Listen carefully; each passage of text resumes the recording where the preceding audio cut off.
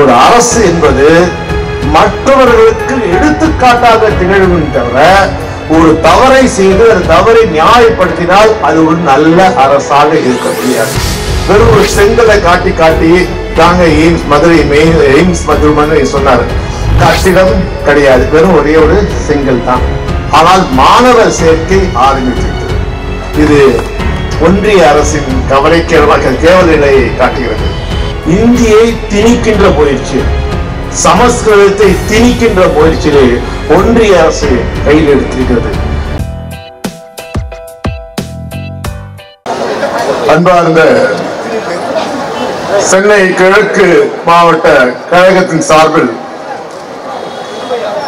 மாண்புமிகு தமிழ்நாடு முதலமைச்சரும் இந்தியாவை போற்றுகின்ற ஒரு சிறந்த முதல்வராக திகழ்ந்து கொண்டிருக்கின்ற இரண்டாம் முறையாக கழகத்தின் தலைமை பொறுப்பை ஏற்றுள்ள நம் தலைவர் தளபதி அவர்களை பாராட்டுகின்ற வகையில் வகையில் நடைபெறுகின்ற சிறப்பு மிகு கூட்டத்திற்கு சேகர் பாபு என்றாலே சிறப்பு. அவர் எதை செய்தாலும் அது சார சிறப்பாக இருக்கும் என்ற வகையிலே இந்த மாபெரும் கூட்டத்தை இங்கு அமைத்துள்ளார். இங்கு வாழ்த்துறை வழங்கி துவக்கி இந்த விழாவை துவக்கி வைக்க வருகை புரிந்துள்ள நம் கழகத்தின் இளைஞரணி செயலாளரும் எதிர்காலமாக எதிர்காலமாக திகழ்கின்ற சேப்பாக்கம் திருவள்ளிக்கேணியின் சட்டமன்ற உறுப்பினர் என் ஆய்வு ஆர்வல் இளவல் திரு உதயநிதி ஸ்டாலின் அவர்களே. வாழ்த்துறை வழங்க. இந்த கூட்டத்தை ஏற்பாடு செய்யும் போது நான் அருமையான சேகரவர்களுக்கு சொன்னேன். தயவு செய்து அண்ணா வெளியே இருக்காதீங்க. கண்டிப்பா மழை பெய்யும். தயவு வந்து ராஜாபுத்தையா மண்டபம் இருக்கு. அங்க வச்சிருங்க. எப்படி தீபாவளிக்கு அப்புறம் மழை பெய்யும்னு சொன்னேன். ஆனால் அவர் ஒரு முடிவு எடுத்துட்டா யாராலையுமே மாற்ற முடியாது. மழை பெய்தாலும் நம்ம அப்படியே இங்கதான் உட்கார வேண்டிய வழியே இல்லை. ஆனால் எதை செய்தாலும் தம் கழகத்தின் பேர் நிலைத்து நிற்க வேண்டும். அந்த புகழ் நம் தலைவர் தளபதிக்கு போய் சேர வேண்டும் என்று தொடர்ந்து ஒவ்வொரு நிகழ்வாக வேற எந்த மாவட்ட செயலாளரும் வேற எந்த மாவட்டம் இந்த மாதிரி நிகழ்ச்சிகளை நடத்தவில்லை. அந்த பெருமை நம்ம அருமை திரு சேகர் பாபா அவர்களுக்கு சாதம் நீங்க பார்த்தீங்கன்னா இந்த நிகழ்ச்சி துவக்கி இருக்கிறதுக்கு இளைஞரணி செயலாளர் வந்திருக்கிறார்கள். பார்த்தீங்கன்னா இந்த க- இந்த தேர்தலிலே நாம் மிகப்பெரிய வெற்றி பெற்றதுக்கு ஒரு முக்கியமான யூகம் வகித்து செயல்பட்டவர் யார் என்றால் திரு அருமை நண்பர் அருமை சகோதரர் உதயநிதி அவர்கள்தான் சொல்வார்கள் வெறும் ஒரு செங்கலை காட்டி காட்டி தாங்க AIIMS Madurai main AIIMS Madurai சொன்னார்.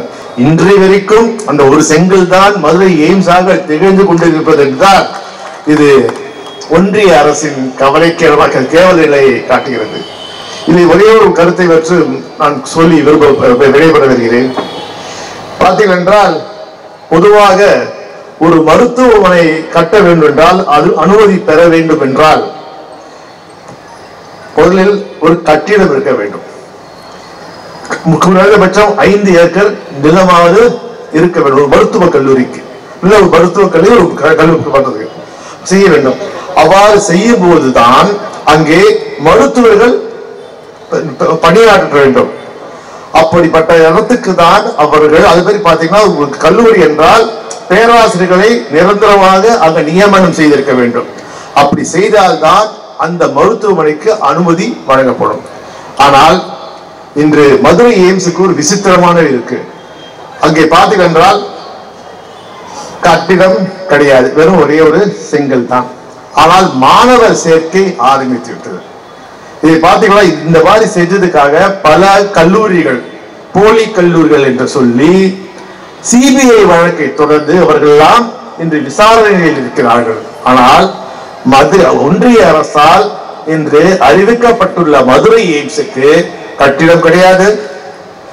மருத்துவ நிரந்தரமான நிரந்தரமான பேராசிரியர்கள் கிடையாது. அவர்கள் எல்லாம் மதுரையில் உள்ள அ- தமிழக அரசு மருத்துவக் கல்லூரியில் பயிர்கிறார்கள் மாணவர் சேர்க்கை ஆரம்பமாகிவிட்டது. இது என்ன சொல்கிறது என்றால் ஒரு அரசு என்பது மற்றவர்களுக்கு எடுத்துக்காட்டாக திகழும் தவிர ஒரு தவறை செய்து அந்த தவறை நியாயப்படுத்தினால் அது ஒரு நல்ல அரசாக இருக்க முடியாது. ஆனால் என்ன செய்வது? நாம் பெற்றிருக்கின்ற ஒன்றிய அரசு எதை எடுத்தாலும் தவறாக செய்து அதை இன்னமும் உண்மையாக அவர்கள் பெரிய சாதனையாக செய்கிறார்கள். இதை நான் சொல்வதற்கு காரணம் இதுவரைக்கும் பார்த்தீர்கள் என்றால் அவர்கள் எடுத்த அனைத்த அணுகுமுறையும் தவறான அணுகுமுறை. குறிப்பாக ஆட்டை கடித்து மாட்டை கடித்து கடித்து மக்களை மனிதனை கடிப்பது போல் தேவையில்லாமல் என்று இந்தியை திணிக்கின்ற முயற்சி. சமஸ்கிருதத்தை திணிக்கின்ற முயற்சியிலே ஒன்றிய அரசு கையில் எடுத்திருக்கிறது. இது கண்டிப்பாக பார்த்தீர்கள் எதிர்த்த முதல் தலைவர் முதலமைச்சர் யார் என்றால் நம் தலைவர் தளபதி அவர்கள் தான். அவங்க சொன்னோன்னே முதல் கொடியை பிடிச்சது யார் என்றால் நம் இளைஞரணி செயலாளர் திரு உதயநிதி ஸ்டாலின் வந்தார் அதற்கு காரணம் அந்த எதிர்ப்பு தீ அணையாது. தமிழ்நாட்டில் அணையாது அணையாது கூறி நல்ல வாய்ப்பை தந்த அனைவருக்கும் என் நன்றியை தெரிவித்து எழுதுகிறேன் நன்றி வணக்கம்.